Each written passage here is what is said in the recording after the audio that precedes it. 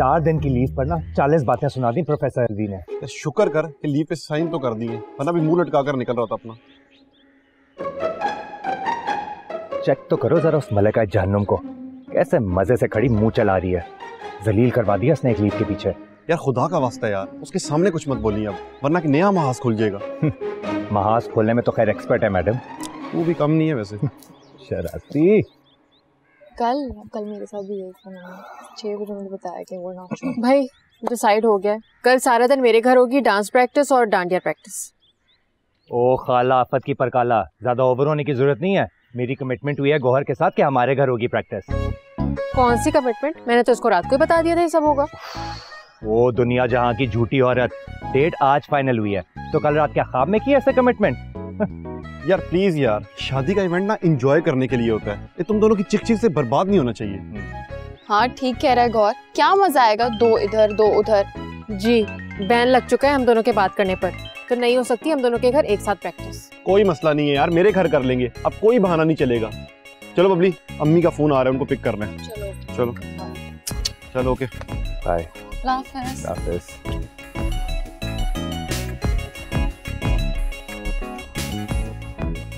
क्या ज़रूरत थी उन दोनों को बैन का बताने की? जैसे उन लोगों को पता ही नहीं ना हमारी जंग के बारे में। देखो मानूर ये सारी जंगें ना हमारे खानदान का इंतहाई जाती मामला है। अच्छा थोड़ी लगता है कि अपने पर्सनल इश्यूज़ अपने फ्रेंड्स के सामने डिस्कस करें हम चाहे हम उनके जितना भी क्लोज क्यों ना हो।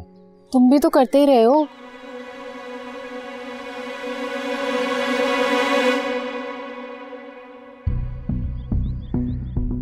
मेरी माँ भूल जाओ माजी की बातों को। अब हमारे खानदान की इज़्ज़त का सवाल है।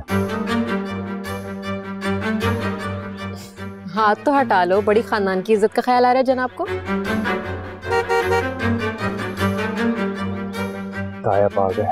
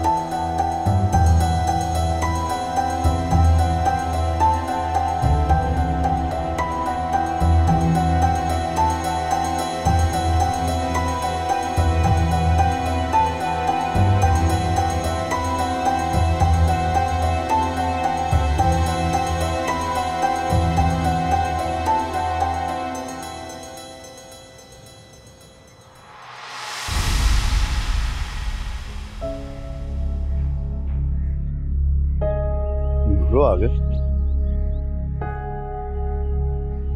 मुन्ने मियाँ अपनी औलाद को ना अपनी ज़ुबान में अच्छे से समझा दो कि मेरी औलाद से 36 फुट दूर है। वरना उनकी टांगे तोड़कर उनके हाथ में पकड़ा दूँगा। बस अब्बा इस मामले में और कोई बात नहीं। चलो।